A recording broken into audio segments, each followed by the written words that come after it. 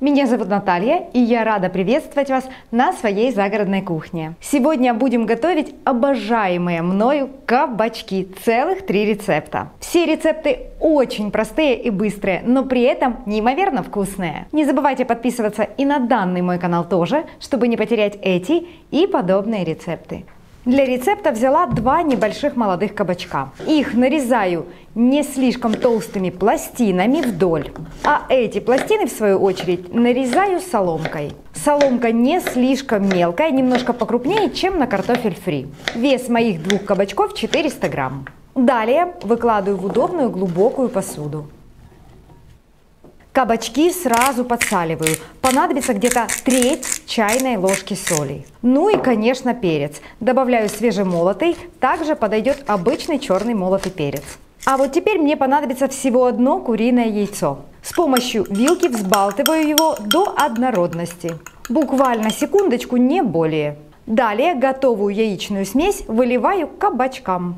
Кабачки и яйца нужно тщательно перемешать. Кусочки кабачков должны быть полностью покрыты яичной смесью. Кабачки подготовлены, теперь мы их будем обжаривать.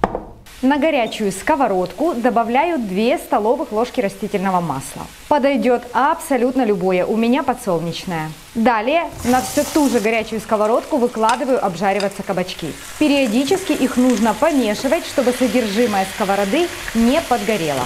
Хочу обратить внимание, огонь под сковородой выше среднего. У меня 8 из 9. Обжаривать кабачки буду около 7 минут, не более, чтобы они оставались хрустящими. И не забывайте их периодически помешивать, чтобы они не подгорели. Прошло около 5 минут, кабачки готовы, и их сразу можно выкладывать в глубокий салатник.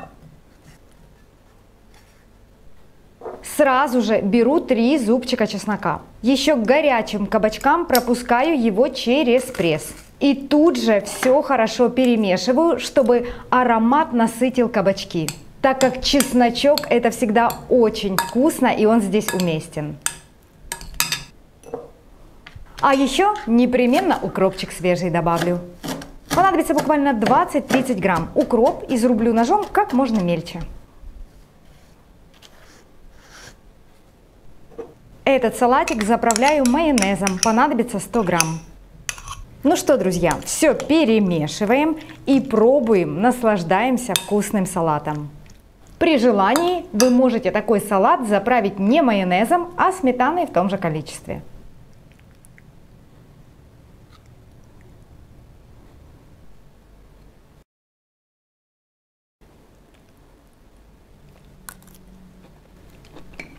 Нереально вкусный, насыщенный, ароматный салат из кабачков. За счет того, что мы обжаривали их в яйцах, такое впечатление складывается, что в салате присутствует мясо, а его там нет на самом деле. Рекомендую приготовить. Это очень вкусно, при том, что быстро и просто.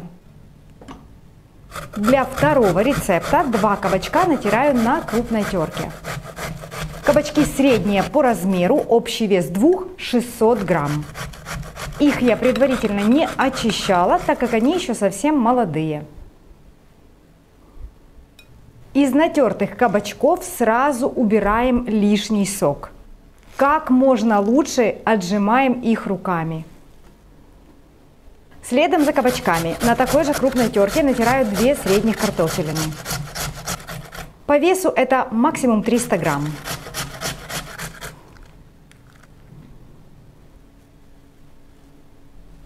Для интересного пикантного вкуса еще взяла 100 грамм сыра. И его, как остальные ингредиенты, натираю на крупной терке. Затем в миску выливаю 2 куриных яйца. Также мне понадобится 100 грамм муки, это 5 столовых ложек без горки. Я еще пол чайной ложки разрыхлителя взяла. Конечно же я добавляю соль, понадобится где-то пол чайной ложки, можете взять немножко больше. Ну и куда без черного перца. Здесь уже ориентируйтесь на свой вкус. Я еще решила для приятного аромата и красивого вида блинчиков добавить немножко укропа. Понадобится 20-30 грамм, не более. Для того, чтобы блины были более эластичными и сочными, я добавлю в тесто 2 столовых ложки растительного масла. Ну а теперь все наши ингредиенты нужно хорошенько и тщательно вымешать. Можно это сделать с помощью ложки, а можно надеть перчатку и перемешать все руками. Так гораздо удобнее. Консистенция должна получиться не слишком густой, но и не жидкой, как фарш на котлеты. Тесто кабачковое подготовлено, можно идти к плите. На горячую сухую сковородку выкладываю 2-3 столовых ложки нашей кабачковой смеси. С помощью лопатки или ложечки все распределяю равномерно. Должна получиться вот такая лепешечка. Закрываю крышкой и на огне немножко выше среднего. Все буду прожаривать около 3-4 минут. Как вы помните, растительное масло я добавила в тесто, поэтому на сковородку ничего не добавляла. После этого открываю крышку, смотрю, что блин и сверху хорошо прихватился. С помощью лопатки переворачиваю его на обратную сторону. Снова закрываю крышкой и обжариваю еще около 2-3 минут. Готовый блин выкладываю на блюдо, которое заранее подготовила. Следующий блин формирую подобным образом и запекаю под крышкой где-то 5 минут, не более. Тогда блин не порвется 100%. Готовые блинчики выкладываю стопкой на блюдо. Таким же образом продолжаю жарить оставшиеся кабачковые блины.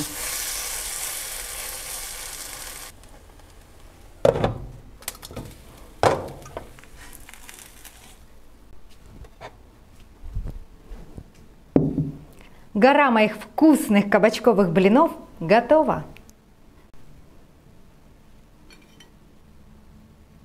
Блины получаются очень ароматные. И посмотрите, какие они эластичные, абсолютно не рвутся. Сметана к таким блинам идеально подходит, хотя любой другой соус, я уверена, тоже будет хорош.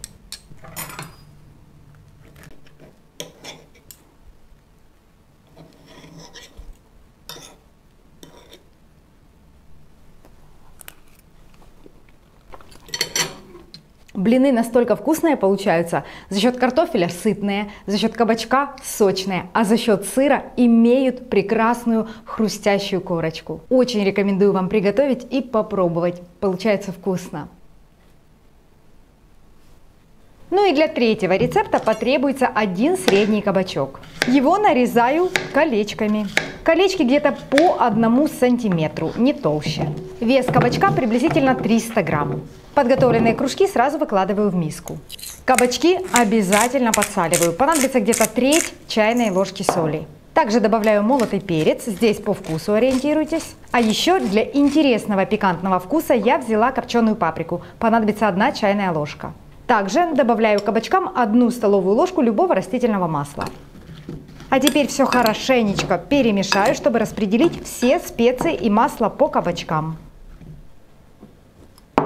Для наивкуснейшей начинки потребуется творог. У меня брикет 180 грамм.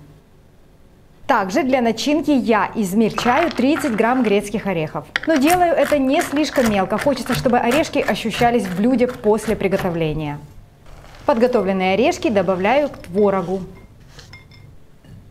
Еще добавлю в начиночку буквально 10 грамм свежего укропа.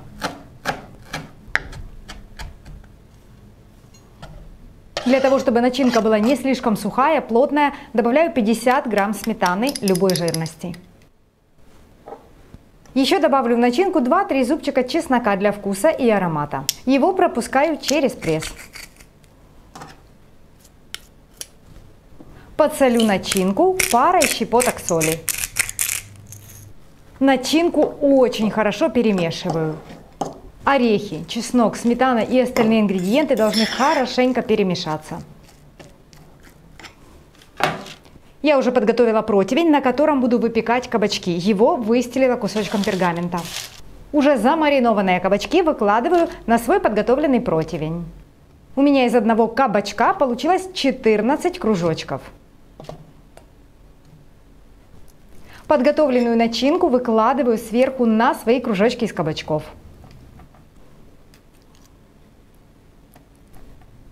Чуть не забыла включить духовку, чтобы она разогревалась, поэтому включаю ее на 180 градусов, пусть греется. На каждую шайбочку приблизительно полторы чайных ложки получается начинки. Начинку можно выкладывать и как-то придавать ей форму, а можно делать как я. Поверьте, после запекания это будет выглядеть очень симпатично.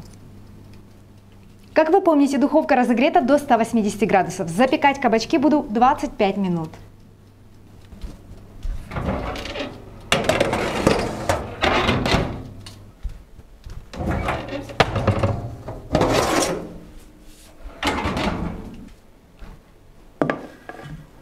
По истечении 25 минут мои кабачки готовы.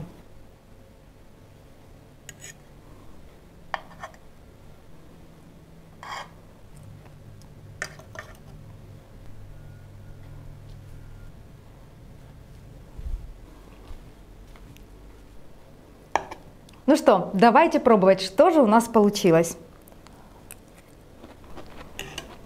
Это очень вкусно. Сочный кабачок с привкусом копченой паприки, а сверху творожная начинка да с хрустящими орешками. Получается невероятно вкусно. Это блюдо я вам настоятельно рекомендую приготовить. Это очень-очень вкусно и полезно при этом. Такие кабачки можно есть даже ночью и при этом худеть. Друзья, мне будет очень приятно, если вам понравились мои рецепты из кабачков. Также я буду рада вашим лайкам и комментариям. Хочу попрощаться с вами до следующих встреч. Пока-пока.